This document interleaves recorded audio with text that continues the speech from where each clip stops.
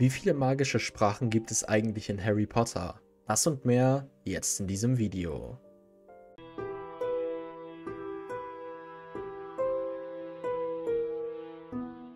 Im heutigen Video werfen wir einen Blick auf alle bekannten Sprachen der magischen Tiere und Kreaturen in der Zaubererwelt von Harry Potter. Und davon gibt es einige.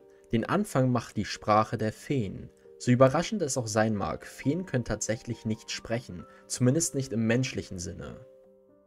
Ich hätte persönlich angenommen, dass Feen menschliche Sprachen sprechen, aber ohne die Fähigkeit dazu haben sie natürlich keine nennenswerte Sprache. Stattdessen kommunizieren diese magischen Kreaturen mit anderen Feen durch eine Reihe von lauten Brummtönen. Diese Information kann im Buch Fantastische Tierwesen und wo sie zu finden sind wie folgt nachgelesen werden. Trotz ihres menschenähnlichen Aussehens kann die Fee nicht sprechen. Sie gibt ein hohes, summendes Geräusch von sich, um mit ihren Artgenossen zu kommunizieren. Als nächstes haben wir Riesen. Die beste Gelegenheit in der Saga, einen Riesen zu beobachten, bietet sich natürlich bei Hagrids Halbbruder. Sowohl durch seinen Halbbruder als auch durch den Stamm der Riesen, mit dem Hagrid versucht ein Bündnis zu schließen, erhalten wir Hinweise auf die Sprache der Riesen, da Hagrid nicht in der Lage ist, sich richtig mit dem Stamm und seinem Halbbruder zu verständigen. Und doch können sie miteinander kommunizieren ein Beweis für eine Sprache oder zumindest für eine grundlegende Form der Kommunikation, ist auch die Verwendung des Begriffes Gurk bei den Riesen, der dem stärksten Riesen und damit dem Anführer eines Stammes entspricht. Der Name und die wahre Funktionsweise der Sprache der Riesen sind jedoch unbekannt. Es ist auch erwähnenswert, dass einige Riesen Berichten zufolge ein bisschen Englisch sprechen können. Die nächste Sprache ist Koboldogak, die anerkannte Sprache der Kobold-Spezies.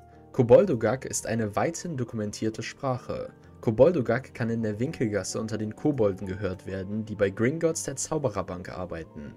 Viele der Hexen und Zauberer, die es vernommen haben, beschreiben es als raue und unmelodiöse Sprache, eine Aneinanderreihung von rasselnden, komischen Geräuschen. Obwohl es sich um eine unangenehm klingende Sprache handelt, ist es möglich, sie zu erlernen. Das bedeutet, dass man kein Kobold sein muss, um Koboldogak zu sprechen. Wir wissen das, weil es mehrere Hexen und Zauberer gibt, die diese Sprache sprechen könnten. Oder es zumindest sprechen konnten, wie Barty Crouch Senior. Obwohl Barty Crouch Senior wahrscheinlich nicht das beste Beispiel ist, da er eine Art Sprachexperte war und über 200 Sprachen sprechen konnte, darunter Meermisch und Troll zusätzlich zum Koboldogak. Als nächstes haben wir Meermisch. Wir erfahren zum ersten Mal etwas über die meermische Sprache im Feuerkelch, als Harry während seiner Teilnahme am Trimagischen Turnier mit den im Schwarzen See lebenden Wassermenschen spricht. Durch Harrys Gespräche erfahren wir, dass die Muttersprache der Wassermenschen eine unglaublich einzigartige Sprache ist. Meermisch wurde gezielt für die Verwendung unter Wasser angepasst, was dazu führt, dass es völlig anders klingt, wenn es über Wasser gesprochen wird. Unter Wasser ähnelt Meermisch einer menschlichen Sprache, wie zum Beispiel, als Harry es im Schwarzen See hört und die Wassermenschen versteht. Aber über Wasser ist es völlig unerkennbar und klingt wie ein raues, raspeliges Kreischen. Ähnlich wie Koboldogak kann Meermisch auch von Nichtmenschen erlernt werden, wie die Tatsache beweist, dass Albus Dumbledore die Unterwassersprache fließend beherrschte. Machen wir weiter mit der Paselsprache. Die Paselsprache ist eine der bekannteren mystischen Sprachen in der Zaubererwelt von Harry Potter. Sie wird von magischen Schlangenkreaturen wie dem Basilisken, der gehörnten Schlange oder wie in der Stein der Weisen von einer ganz normalen Schlange gesprochen. Die Paselsprache hat eine einzigartige Aussprache und klingt, wie zu erwarten, sehr nach den zischenden Geräuschen einer Schlange. Jeder Mensch, der die Fähigkeit besitzt, die Paselsprache zu sprechen, wird als Paselmund bezeichnet. Und es ist interessant, dass diese besondere Sprache eine vererbte Fähigkeit ist, mit der offensichtlichsten Ausnahme natürlich bei Harry Potter. Dies lässt sich dadurch erklären, dass er einer der Horcruxe von Lord Voldemort war. Apropos, so gut wie jeder bekannte Paselmund ist ein Nachkomme von Salazar Slytherin, einschließlich der Gaunt-Familie und Lord Voldemort selbst. Diejenigen, die die Paselsprache besonders gut beherrschen, können dies auch ohne Schlangen tun. Eine weitere magische Kreatur mit einer ganz eigenen Form der Kommunikation sind die Wichtel.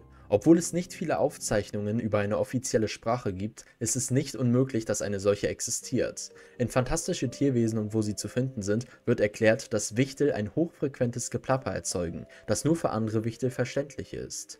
Meiner Meinung nach lässt dies die Möglichkeit offen, dass dieses Geplapper eine Form strukturierter Kommunikation sein kann. Kommen wir nun zur Runensprache. Runen sind eine besonders einzigartige Sprache, da sie nur in schriftlicher Form bekannt ist. Es gibt kein bekanntes verbales Äquivalent. Die Runensprache besteht ausschließlich aus Symbolen und verfügt über ein eigenes Alphabet. In Hogwarts wird diese Sprache als Leistungskurs für Sechstklässler unterrichtet, bekannt als das Studium der antiken Runen.